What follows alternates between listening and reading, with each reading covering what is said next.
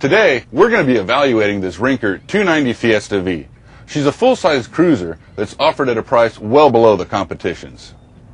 290 offers small V6s, still puts the boat in the 40 mile an hour range, large aft cabin, full galley, um, large cockpit, um, just really falls into the um, first time family cruiser boat very nicely.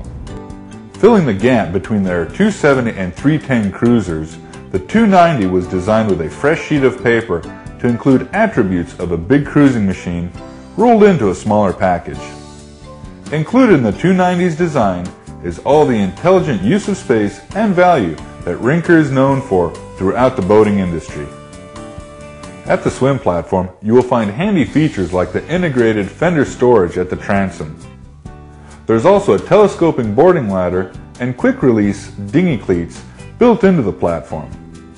The 290's cockpit is separated fore and aft by a simple wet bar. The aft area has just one settee located along the transom. A removable table can be inserted for alfresco dining, but only for a few as this table is tiny. The rest of your guests will have to relax in the forward area that supplies a long L-shaped settee on the port side. Of course, there is lots of storage under all the lounge seating cushions. At the helm, the captain is treated to a wide, fully adjustable chair. The helm's dash layout is straightforward and elegant. All the controls and instrumentation wrap around the helmsman and are ergonomically excellent. Molded steps at the helm make the trip to the foredeck much easier. Now that we've seen the 290's cockpit, let me take you below deck and I'll show you her cabin. Located amidships is a full-size stand-up head with shower to starboard. Inside, you'll find a vanity with sink, a flush toilet, and a comfortable shower space. On the port side is the galley, which features a refrigerator, a microwave oven, and a stove. There's also tons of storage space throughout the 290. The only thing that is really awkward in the cabin is the forward berth. To starboard is a dinette that converts into a narrow double berth and is adjacent to a narrow double mattress to port.